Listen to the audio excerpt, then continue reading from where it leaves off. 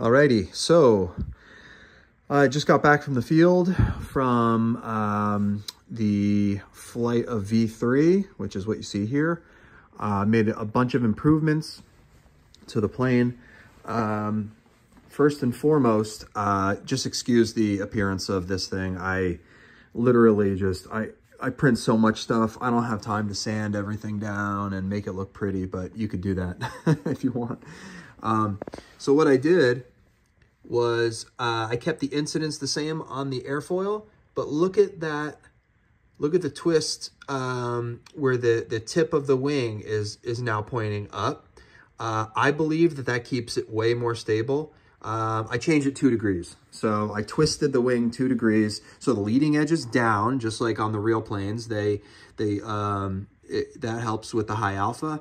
And then the twist up at the, at this back corner right here, when that twists up, that gives you, uh, uh, what happens with these planes is you, you get a lot of down attitude or, or um, uh, down elevator basically just from, from the wing shape alone. Uh, so you have to counteract that with uh, elevator up trim, which just causes drag and, and that's terrible. So I'm going to just I'm just going to run this type of a wing from now on. Um, it has great slow speed and great high speed stability and, uh, and lift characteristics. So um, yeah, so enough of that. Um, basically, this thing flies, in my opinion, similarly to the Hobby King uh, 50 millimeter, but it, it's got so much uh, elevator and pitch authority uh, with the full flying stabs that it there's just no comparison between the two. And now, for some reason, um, the cheater hole that I that I added, which is very small, it's like a NACA style inlet on the bottom of the plane. I can show you. I don't know why I'm not showing you. Uh, that little cheater right there provides, it's like, it's like another gear.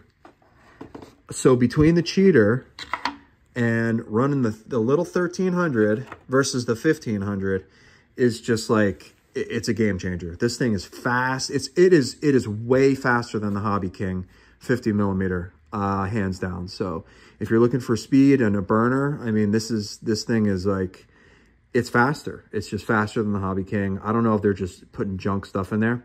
So um, what did I do? What else did I do? Okay, so I added little um, little supports for magnets, CA glue. I everything that I build is for ease of construction, ease of use, because you know you're going to be damaging parts. You know you're going to have to reprint things, and you could literally just just cut, paste on a new one, cut CA glue on a new one, whatever you want to do. So magnets, uh, Amazon like nine dollars for like a whole like pound of these things. Um, it just literally, there's the spot. You just dig it out with an X-Acto. There's a spot. You just glue it there, stick it on. There you go. Um, I printed this in, in PLA just because you're always handling it and the magnets and stuff, you, you know, it might rip the, uh, the lightweight stuff apart. Um, okay, so the whole plane is very easy to print. You just print it out in 3% uh, infill lightweight PLA where all the white is. Uh, so from here to here, there's your cut. From here to here, there's your cut.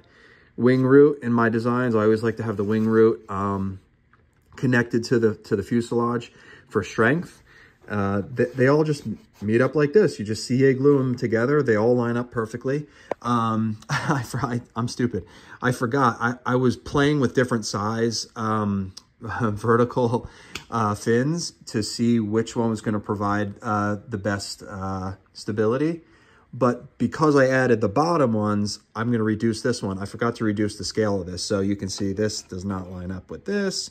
But, um, uh, I mean, you can let me know if you want the bigger one. I could just send it to you, or you could just scale it up. But I'm going to I'm gonna reduce that so that it lines up with the, the back.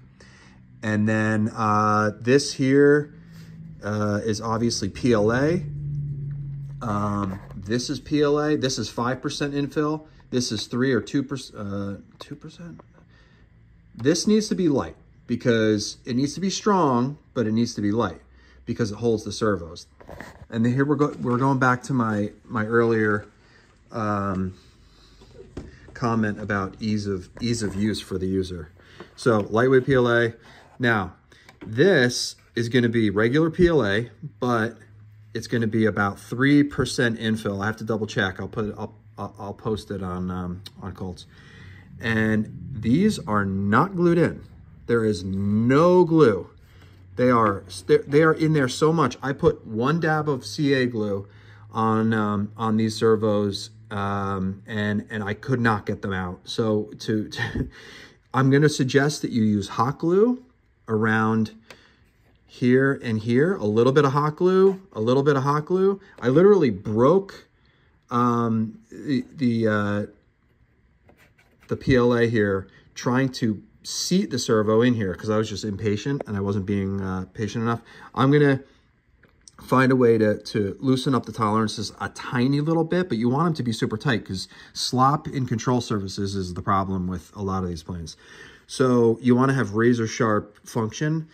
And, and that is one of the reasons why this, this plane flies so good now is that you have literally two servos directly connected to the, um, the horizontal stabs. And there's no other control surface. There's just that.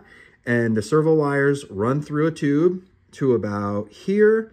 And then you have one uh, 10 or a 12 or a 12 inch extension wire up to here. So that's it.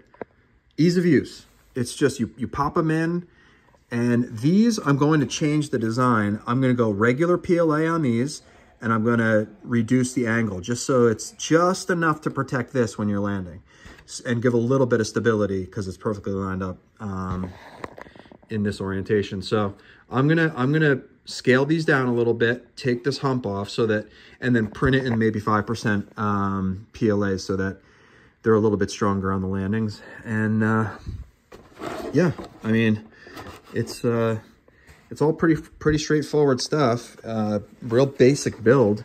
I mean, I I think I I honestly think that I printed this thing in three three build plates, um, and it just it was 24 hours maybe of just printing on the Bambu, and then it was just done. So uh, yeah, I hope you like it, and uh, and let me know if you have any questions.